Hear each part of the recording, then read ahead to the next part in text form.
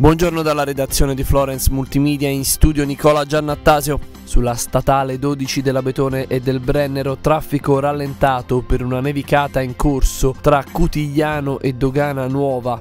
Per lo stesso motivo rallentamenti anche sulla statale 63 del valico del Cerreto dove la neve sta cadendo tra Fivizzano e il valico. Traffico regolare sul resto della rete stradale ed autostradale della regione Fare però attenzione per la pioggia che sta cadendo su tutta la Toscana. Per quanto riguarda la viabilità cittadina, a Firenze per i lavori alla linea 3 della tranvia, da domani è in programma il ribaltamento del cantiere in via Vittorio Emanuele II nel tratto via Alderotti, via Maestri del Lavoro. Muoversi in Toscana è un servizio realizzato in collaborazione con Regione Toscana, Città Metropolitana di Firenze e Comune di Firenze. Buon viaggio!